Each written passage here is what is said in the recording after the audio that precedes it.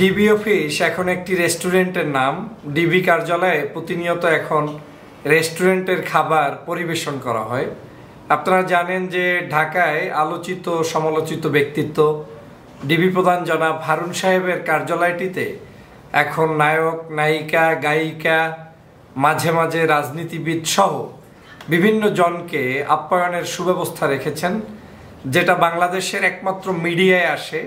এমনকি বাংলাদেশের সর্ববৃহৎ কস্টিং আপ্যায়ন যেই ভবনে হয়, গণভবন, সেটা আমরা হয়তো বাজেট ঘোষণার সময় শুনতে পাই যে গণভবনে কত কোটি টাকা বরাদ্দ করা হয়েছে বা শেখ হাসিনা কোথায় কোথায় আপ্যায়ন করিয়েছেন। এখন ডিবি কার্যালয়টা বর্তমান সময়ের শেখ হাসিনার কার্যালয়ের চাইতেও অনেক উন্নত মানের অবস্থার শিখরে অবস্থান করছেন বিধায়। প্রতিদিন সংবাদের শিরোনামে আসবে এই মুহূর্তে ডিবি হারুন সাহেব আপ্যায়ন করালেন অপু বিশ্বাসকে, এই মুহূর্তে তিনি আপ্যায়ন করালেন বিএনপির অমুক নেতাকে, এই মুহূর্তে তিনি আপ্যায়ন করালেন আওয়ামী লীগের অমুককে, এই মুহূর্তে ডিবি হারুন সাহেব আপ্যায়ন করালেন নায়ক নায়িকাদেরকে এবং শুধু আপ্যায়নই না, উনি সেখানে একটি ক্লাবের মতোই তৈরি করেছেন মানে সবাইকে নিয়ে একটি আড্ডার জায়গা। আজকের বাংলাদেশের যেই পুলিশ বাহিনীর দায়িত্ব হচ্ছে জনগণের স্বাধীনতা, সার্বভৌমত্ব রক্ষা করা জানমালের নিরাপত্তা দেয়া। সেই জায়গাটা এখন একটি তোষামদের কেন্দ্রে পরিণত হয়েছে। আমরা অবশ্যই প্রত্যেকটি কাজের ভালো কাজগুলো যদি কারও থাকে সেটার আমরা সাধুবাদ জানাই।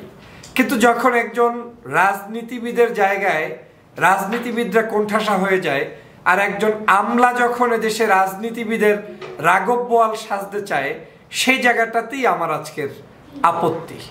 আজকের রাষ্ট্রের কর্মচারী, রাষ্ট্রের জন্য রাষ্ট্রের টাকায় রাষ্ট্রের বেতন খেয়ে তিনি দায়িত্ব পালন করছেন। দল নিরপেক্ষভাবে যে কোনো ব্যক্তির জন্য তিনি দায়িত্ব পালন করবেন। কিন্তু আজকে কোনো দায়িত্ব পালনের কোনো নিউজ নেই। আমরা এরকম কোনো নিউজ পাই না যে ডিবি অফিস থেকে এভাবে মুক্তি পেলেন বাংলাদেশের নির্যাতিত অমুক মহিলা কিংবা পুরুষ।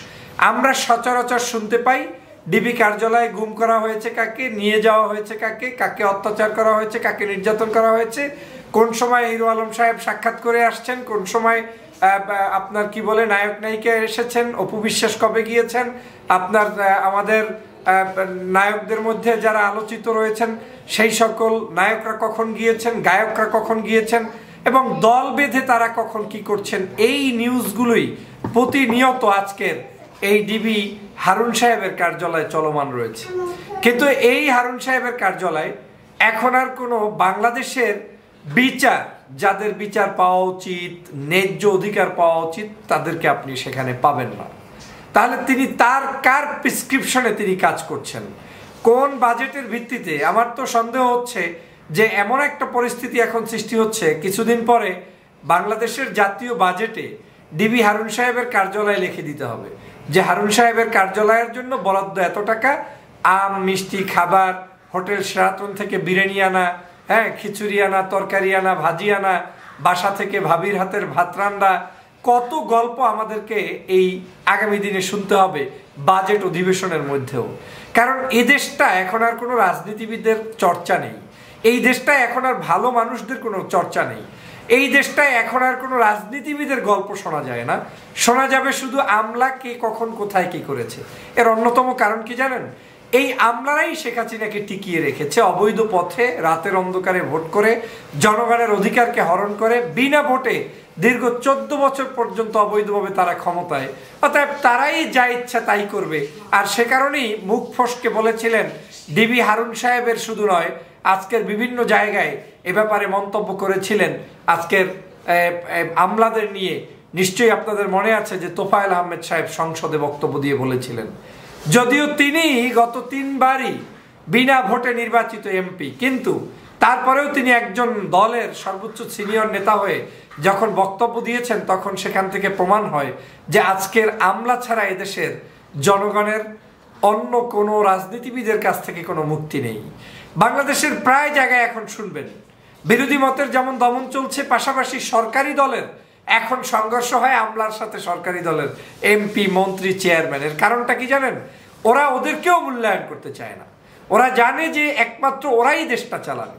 আমরা যখন বেনজির সাহেবের ইতিহাস জানতাম, তখন বেনজির ময় সমগ্র বাংলাদেশ হয়ে গিয়েছিল। বেনজির সাহেব বিদায় নেওয়ার পরে এখন কিঞ্চিত তিনি যখন, কি বলে, নিষেধাজ্ঞা খেলেন বিভিন্ন ধরনের সে কোণঠাসা হয়ে গেলেন, এখন তো সব পরিবার সহ এক ঘরে হয়ে গিয়েছেন।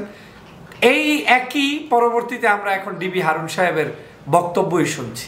এই হারুন সাহেব বাংলাদেশের সকল রাজনীতিবিদদেরকে টার্গেট করে করে বিভিন্ন ধরনের ব্ল্যাকমেইলিং করছে। আপনাদের নিশ্চয়ই মনে আছে ওবায়দুল কাদের সাহেব কিন্তু মুখ ফসকে কথাটা বলে ফেলেছেন।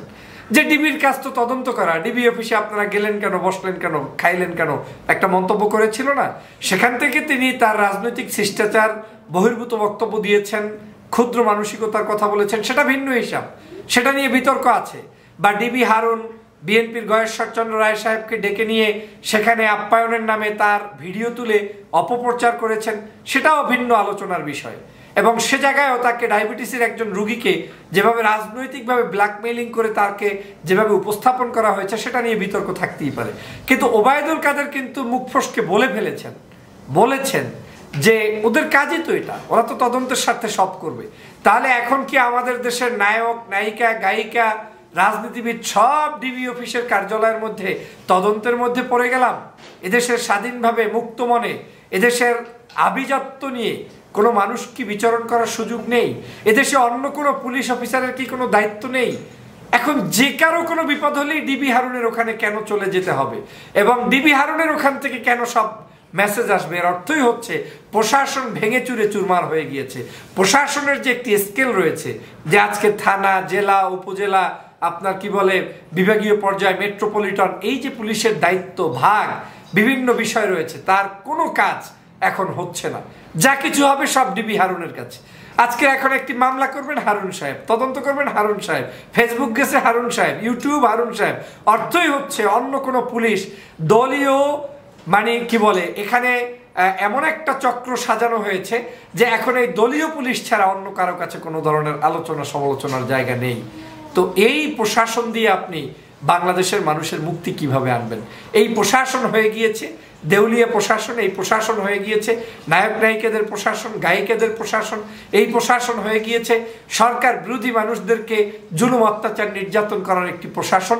এবং সে কারণেই আমি শুরুতে বলেছি যে হারুন সাহেবের অফিসটি এখন একটি ডিবি কার্যালয় না, এটা একটি রেস্টুরেন্টে রূপান্তরিত হয়েছে। এই খাদ্য অভ্যাস করে করে কত মানুষের যে পেটে বদহজম করে তারপরে তাদের রাজনৈতিক চরিত্র হননের চেষ্টা করবেন এই হারুন। এটা আপনাদেরকে এখন থেকেই সতর্ক হতে হবে এবং বাংলাদেশের জনগণকে তার প্রতিবাদ করতে হবে। আপনি হারুন কর্মচারী রাষ্ট্রের। আপনি দায়িত্ব পালন করবেন, ড্রেস পরে আপনি লেফট রাইট করবেন, আপনি সেলুট দিবেন, মানুষ গেলে সম্মান করবেন চা রং চা থাকলে রং চা খাওয়াবেন, আর আপনার অফিসে রং চা না থাকলে খেতে তো কেউ যায় না। মানুষকে গুম করছেন, খুন করছেন, হত্যা করছেন, নির্যাতন করছেন, নিপীড়ন করছেন, রাতের অন্ধকারে তুলে নিয়ে যাচ্ছেন, সে নিয়ে আপনাদের কোনো ডিউটি কি নেই? ডিউটি কি আপনারা এখন রেসিপি বানানোর জন্য? আর পত্র পত্রিকাগুলো সকাল সন্ধ্যা লেগে আছে, হারুনের অফিসে কি কি খাবার বিতরণ করা হয়? এদেশে আর কোনো নিউজ বাংলাদেশে আর মনে হয় নেই। গণতন্ত্র শেষ, ভোটাধিকার শেষ, জনগণের অধিকার শেষ, সব শেষ। সেগুলো নিয়ে মন্তব্য নেই। মন্তব্য কি? হারুন সাহেব কি করেছেন? এই চক্রের হাত থেকে দেশকে রক্ষা করতে হলে এবং এই চক্রটি একটি পরিকল্পিতভাবে করছে। কারণ কি জানেন? ওরা জানে যে এই সকল নিউজ দিয়ে যদি আমরা দেশবাসীকে নিমজ্জিত রাখি, তাহলে চুরি, ডাকাতি, হত্যা, ধর্ষণ, সন্ত্রাস কোনো কিছুই আর জনগণের কাছে যাবে না, প্রচার পাবে না। আমরা আমাদের চুরি, ধর্ষণ সব কিছু চালাতে পারব। এটা একটি কৌশল। আর এই কৌশলটা সব অফিসারকে সরাসরি শেখ হাসিনা বলবে না। কয়েকজনকে। এই যে গত কয়েকদিন আগে রিপোর্ট এসেছে। শেখ হাসিনা ফোন করেছে। ডিবি হারুনকে পুলিশ প্রদানের মাধ্যমে গয়েশ্বরকে গয়েশ্বর দাদাকে খোঁজ নেওয়ার জন্য। আজকের এরকম করে করে বিভিন্ন ধরনের। তার মানে কি, এরা লিঙ্ক আপ সরাসরি স্বরাষ্ট্রমন্ত্রী, প্রধানমন্ত্রী আর তিনি। এই তিন চারজনের একটা সিন্ডিকেটে বাংলাদেশ চলছে। মূলত এখানে কোনো সুষ্ঠু যে অ্যাডমিনিস্ট্রেটিভ সিস্টেম থাকা দরকার সেটা বাংলাদেশে নাই। সে কারণেই আজকে আপনাদের সামনে উপস্থিত হয়েছি। আপনাদেরকে বলতে চাই যদি দেশকে রক্ষা করতে চান তাহলে তারণ্যের অহংকার। জননেতা তারেক রহমানের যে টেক ব্যাক বাংলাদেশের স্লোগানে উদ্বুদ্ধ হয়ে দেশকে রক্ষা করতে হবে। সবাই ভালো থাকবেন। আসসালামু আলাইকুম রহমতুল্লাহ।